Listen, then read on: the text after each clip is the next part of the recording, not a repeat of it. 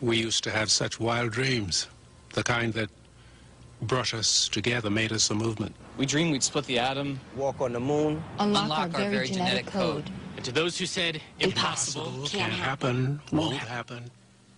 We didn't hear a word. We, we stood up. And we changed the world. Stand up.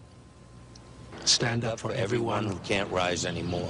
One person every minute. One life in a moment. One life. Is taken by a disease that we can actually cure. We can actually cure. And at the time it's taken, taken to, say, say these words, words, one more American one has more died. American has died. One more American has died. En América más ha muerto. Unforgivable. This is where the end of cancer begins.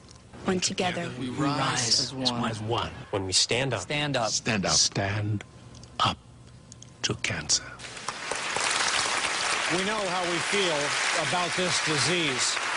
Let's now talk about resizing our understanding of what cancer looks like. At Mass General Cancer Center, Dr. Daniel Haber and his team are opening up a vast molecular world of future treatment in the lab. And by the way, breakthroughs like this one start in some very unlikely places. There was definitely the moment when we said, oh, wow, that's it. It was in the cafeteria, and all of us, the engineers, the clinicians, and the biologists, all can point to that one lunch.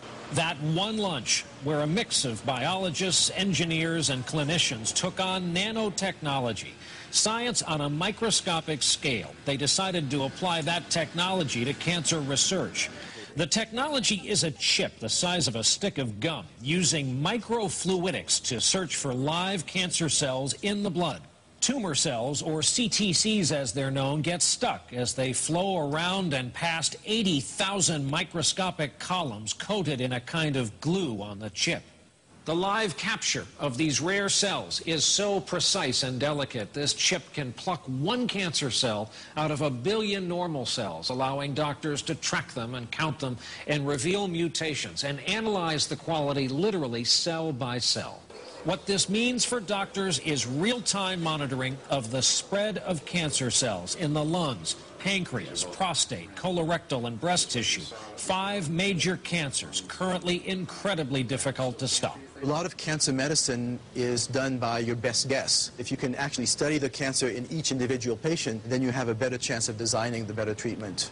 A lot of us have discovered over time there isn't any one cure or one approach to treating cancer. In lung cancer, they've learned that what looks the same under the microscope can actually have a wide array of genetic differences, completely changing the way doctors might treat it. Finding those smallest variations can save and extend lives. It just seems like it's it's, we're on the verge. For lung cancer survivor and non-smoker Greg Vredos and his family, those variations meant a different route for therapy and success with a targeted drug that worked for him even after his diagnosis of inoperable stage 4 cancer. If they can target this particular mutation in, in me, there should be variations that could apply to other people.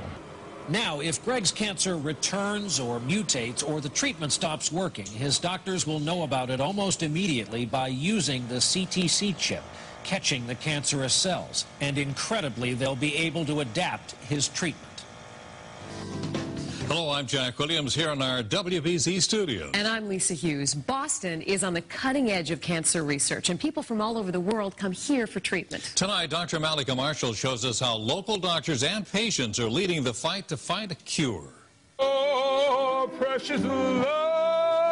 Palmer Doyley has been battling metastatic prostate cancer for the past 10 years, so he's taking part in a clinical trial to see if a new experimental drug can help him fight the disease think it behooves all of us to do all we can to do our parts in helping rid us of the of find questions and answer questions with respect to this this disease.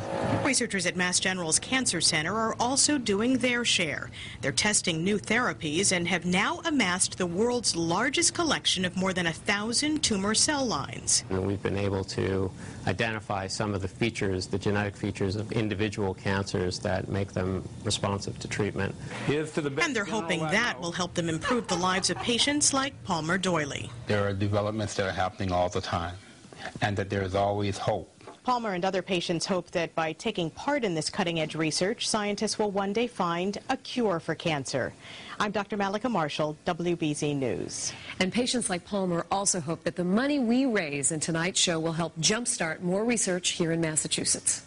And now let's get back to Stand Up to Cancer on WBZ.